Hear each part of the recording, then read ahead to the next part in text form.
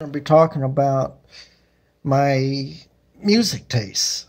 Uh, it'll probably be the final video in my series of videos about me and my channel. Now, you'll find that some of these videos are dating back to the 70s, and that's when I grew up, along with the 80s. And to me, they're perfectly fine. I like videos that old. Uh, that doesn't mean that I t- ignore newer type or artists and quite commonly younger artists. In fact, I'd like them just as much, but I don't ignore or throw out the older stuff. My tastes generally range from classic rock to pop whatever contemporary names you have for it, like simply contemporary. You're going to find that every single track I have is Christian. I don't bother with non-Christian stuff. In fact, when a I get a Christmas album that has stuff like, say, Jingle Bells on it, I delete that. My belief is that Jesus is the reason for the season, not wintertime. And so songs that simply celebrate winter, what good are they? No, what you need is a song that celebrates Jesus being born. Let's go to the manger. I don't care if it's July or December. Let's go to the manger year round. But anyway, I'm going to start listing some of these. And occasionally you'll find me mentioning specific albums and even maybe a track or two. But I'm probably going to skip a few. They are just simply because of the sheer number of different artists I've got. If you've been in my apartment, you'll know that I've got two CD racks full of music. And that's only about half of what I have, probably. The rest of it's all in digital only form. So, anyway, I'm going to start here. I like Second Chapter of Acts. They're one of the groups that originated in the 70s and continued into the 80s. I have a few 4Him songs. Aaron Jeffrey is one that I like and was kind of wishing that they would have stayed together long, but I'm assuming that Aaron Benward, the son in that group, uh, decided he needed to pursue his own career. Strangely enough, I haven't really heard of him since. I have Aaron Shust, Addison Road. I certainly have some Amy Grant songs. Andrew Peterson is one that I like, and in my previous video, you probably heard me quoting one of his songs where he talks about a sign reading God hates fags, and that he's not necessarily saying that God hates fags. He's just quoting the sign. I remember a lot of audio adrenaline. I have quite a few Avalon songs. Barry McGuire's Cosmic Cowboy is one of my favorite songs.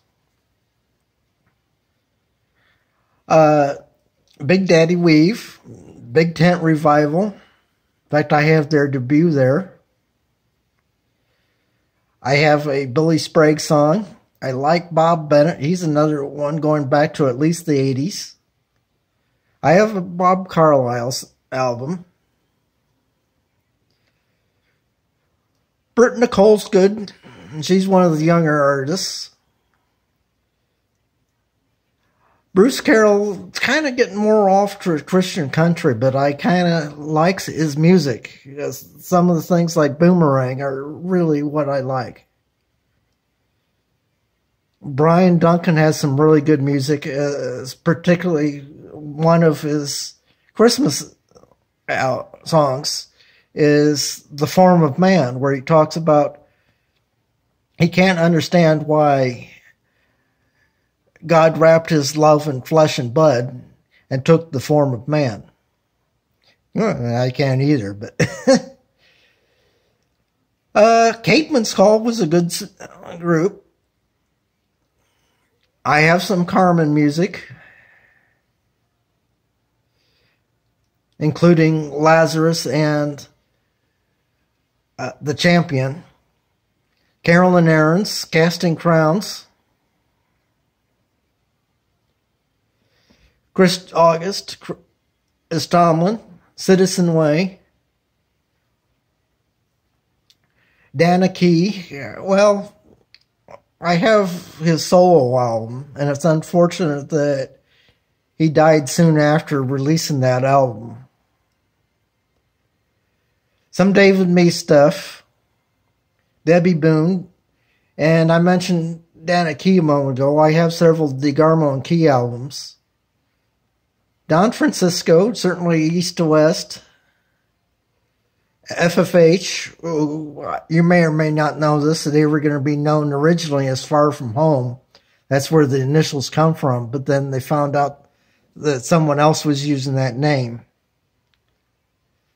So they went to just the initials. I have a first call album for King and Country, Francesca Battistelli. Jenny Owens, I like her. I don't know if you know this or not, but she is blind. I have some I Am They. In fact, I went to an I Am They concert a couple years ago. Some jars of clay, Jason Gray. In fact, I've got a song from him where he talks about uh, Christmas from the point of the innkeeper in Bethlehem. He just can't get any sleep. Uh, Jeremy Camp, Josh Wilson. Josh Wilson has a very good album. The, the whole thing is patriotic. And one of his songs on that album is basically uh, our national anthem. He's out in some sort of concert and is introduced as Josh Wilson from Lincoln, Illinois, and does a pretty good job of singing it. It's not a horrible rendition. Kathy Troccoli, I've got one of her discs. I've got the full Keith Green, the Ministry Years collection. And as you'll see, I've got a couple memorial albums for him. I have a Kerrie Roberts CD. I have a couple Kutless CDs. I have Laura Story, some Lauren Daigle, Matt Maher and Matt Redman, Matthew West, to MercyMe, Michael Card's ED, and a lot of Michael W. Smith. He's another one that goes back to at least the early 80s, and he wrote some of the early Amy Grant songs and toured with her as initially one of the uh, intro artists, I guess it would be. Maybe did some backup vocals for her. I like Moriah Peters. She's the husband of one of the uh, boys in the King's, or she's the wife of one of the boys in for King and Country.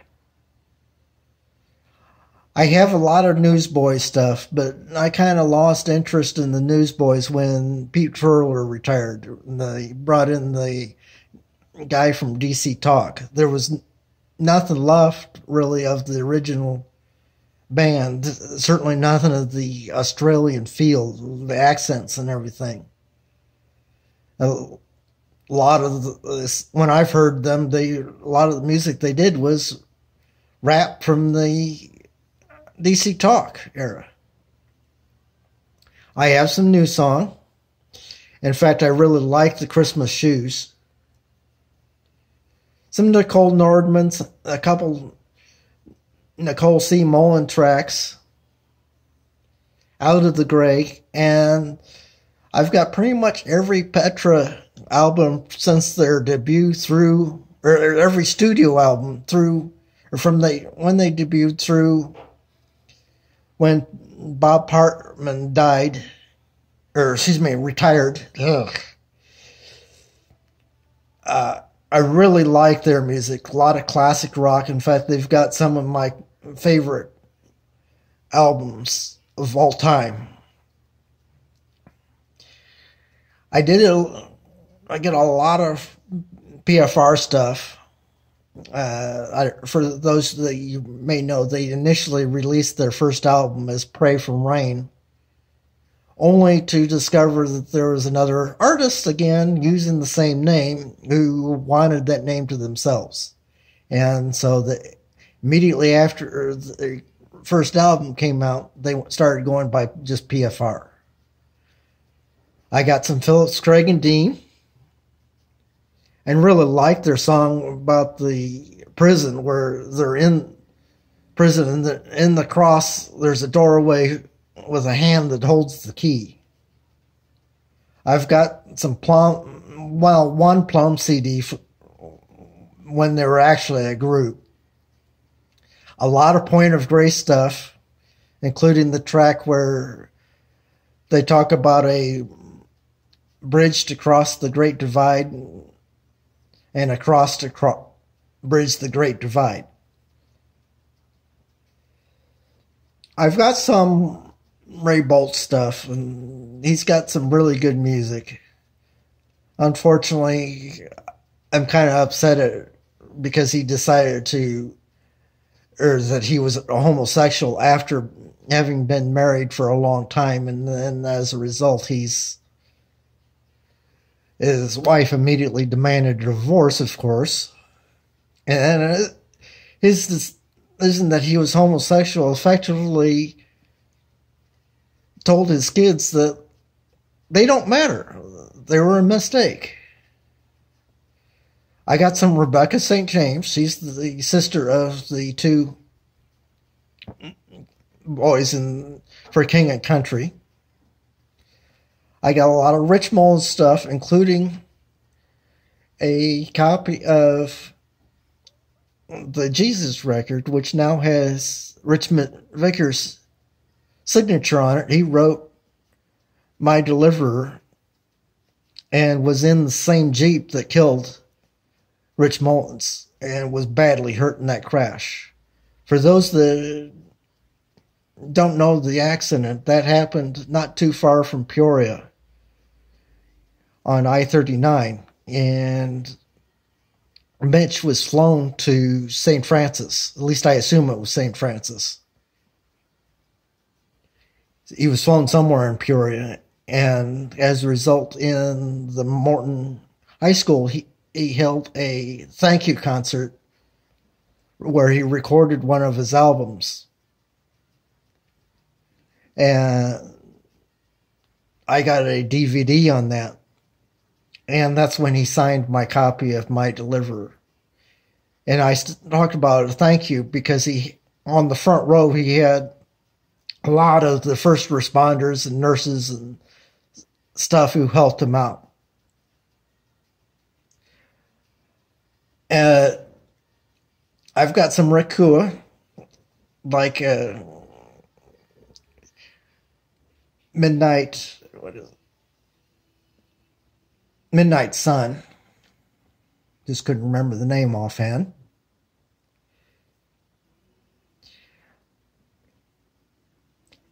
A group you might not have heard of that I like is Serene and Pearl. You should look them up. they're a pair of sisters that have some really good music, at least on the album I have. I don't know if they did more or not. I never looked them up. But one example is they're going into deep water with their dad, and their dad is keeping, making sure they won't drown. But then they relate that to Jesus taking them into deep water.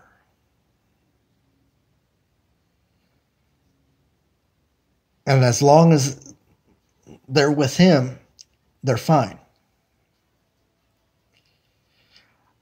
Another group you might not have heard of is one where a weird circumstance the the group has a self-titled album and with a title track. So the group name is Sierra. The debut album is called Sierra, and the title track is called Sierra. Anyway, the name came from that there's no higher place than where Jesus takes us to. You should look them up. I've got some Steve Camp music. I really like some of his music, like Taking Heaven by Storm. Some Steve Taylor songs I really liked, This Disco. A lot of Steven Curtis Chapman's music. Probably not as much as my Petra music. That's what, 10 albums plus? That's just the studio albums. Some 10th Avenue North, the Afters. I've straying, going back to what my parents listened to. I've actually got a Bill Gaither Trio album. So I was somewhat influenced by them. I got some third day music. Uh, Two States Child is a pair of women. Who, one of the women went on. No, excuse me. Don't confuse that with all the other stuff. The one where I was thinking one of the women went on to something else. That's Karen Lay. I've got them too, at least their debut CD. And Lay comp- oh, ended up joining Point of Grace. Now, earlier I talked about uh, Keith Green and how I had some artists in memory of Keith Green. One of them is No Compromise. And remembering the music of Keith Green. The other is Your Love Broke Through. I certainly recommend the first one. I've got some Wayne Watson music. I've got some Wes King music. Whiteheart and Jack Williams. I do have songs from the Loft, which was basically uh, back when Amy Grant and Gary Chapman were still married. They got a bunch of other people together in their barn loft, which apparently had a studio, and they recorded an album in there with each artist taking on a different song. Anyway, that's the complete list I felt like discussing. As usual, if you like this video, please click the like button down below. Please subscribe and click the notification bell. Thank you. Bye.